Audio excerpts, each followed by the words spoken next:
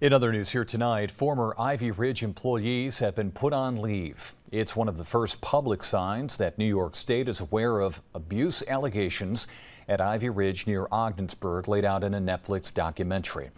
Few former workers were named in the documentary released nearly two weeks ago. Social media, though, has lit up with pictures, names, and where people work now. One employer, New York State, and the St. Lawrence Psychiatric Center in Ogdensburg.